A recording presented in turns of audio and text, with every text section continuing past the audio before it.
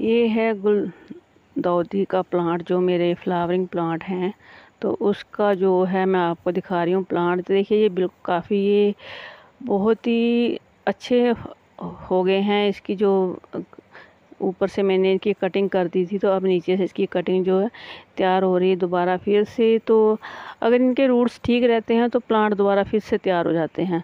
तो ये सर्दियों में बिल्कुल ही ख़राब हो चुके थे, लेकिन इनके रूट्स ठीक थे तो अब देखिए फिर से दोबारा ये काफ़ी हरे भरे हो गए हैं। तो लेकिन ये थोड़ा सा इनके ऊपर एक ये है कि जो मिली बग होता है, वो इसके ऊपर थोड़ा सा अटैक कर रहा है।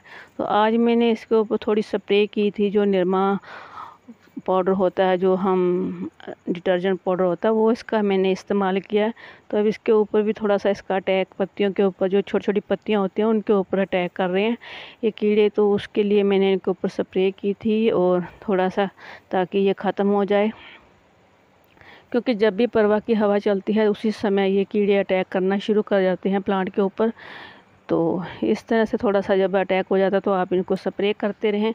तो काफ़ी अच्छे प्लांट और काफ़ी हेल्दी प्लांट ये आपके चलेंगे।